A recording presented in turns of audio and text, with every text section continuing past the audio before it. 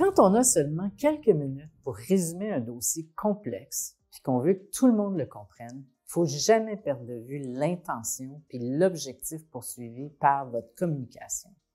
J'observe souvent que les gestionnaires se préparent sérieusement pour les grosses communications, celles qui ont un impact direct, alors qu'ils tendent à prendre les communications ordinaires, celles de tous les jours, des opérations, comme allant de soi, puis ils s'y préparent donc pas.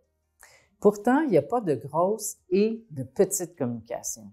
Elles sont toutes importantes pour exercer et confirmer votre leadership.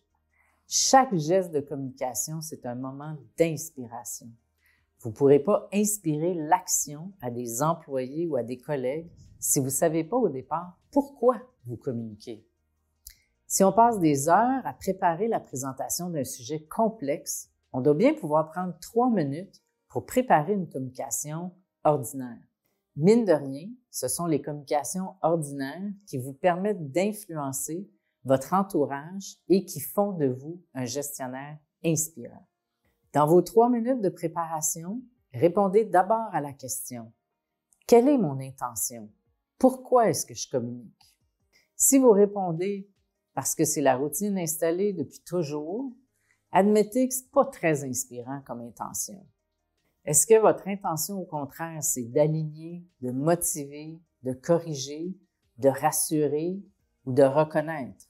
Bref, en déterminant et en affirmant votre intention, vous allez voir que la préparation de votre communication va couler de source. Si votre intention n'est pas claire, votre communication ne le sera pas non plus, quelle que soit sa longueur.